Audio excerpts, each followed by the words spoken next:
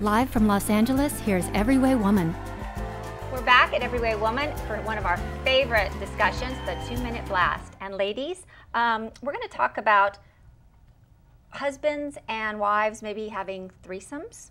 That's your husband trying to tell you he's gay. it's going to be a twosome without Does it you. make a difference if the threesome involves another man or another woman? Somebody's going to get left. Somebody's going to gonna be, be a gay. twosome. So you're Yeah. saying it's not such a good Yeah, idea? Somebody's going to get left. Anita, I think we can all be in agreement with this. You- You know, you can have your fantasies and you can want that, but you introduce someone else in, you're into checking your- out of that relationship. Yeah, it, it seems like maybe you're at the end of the road, but I know Or maybe it's- you need to bring in some toys or some pills or well, something. Yeah, there's other ways to have Blue fun pills. than bringing someone else No, in. because I mean, if you make a like a committed marriage commitment to Sure. somebody, that's a two-person thing. You can't Right. just start bringing in other people because if that's the case, if you just want to have sex with all these people, you shouldn't be married. You should, you know, not make a commitment to somebody. so an unconditional and spend marriage all your is time at the free clinic. and mm-hmm. not going to be. and, and what if the woman's like, all right, well, let's bring another man into this? Well, I of know, course, you're going to your have to have some husband's gay. discussion, I would think. exactly. So. your husband may feel And where like do you that. find the, the third person, whether it's a female or a male? I mean, how do you?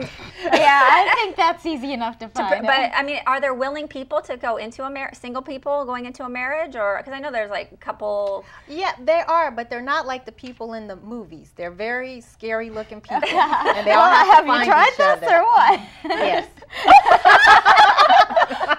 it would have gone better, but the people were scary. We like our, our people who. But I mean, no, that is kind of creepy because it, it could be dangerous. What if you bring somebody into your home That's and true. and they may rob you or, or kill you? I mean, you never know who you're bringing Or if into it's an a intimate friend, situation. if it's a friend, are you going to lose that friendship well, when it doesn't also, work out? especially you have to think if you have children.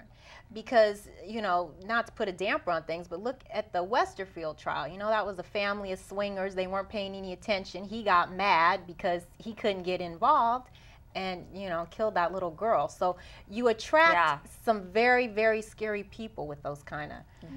So it has. You have to think if you're single, if your kids are grown, you can't be trying to bring in people with little kids. If you have little kids yeah. there. Or like watch that movie Twa, because that was kind of like a threesome gone wrong. Oh. so there you you know things can really go wrong because I think you know a lot of times people may start developing feelings Right. for somebody, and then Sure. what It's do the you do? emotions, Yep. Sure. Yeah. Well, thanks, ladies, and I guess we kind of are all on similar page there. well, stay with us because we're coming back with Christina and our unscripted entertainment.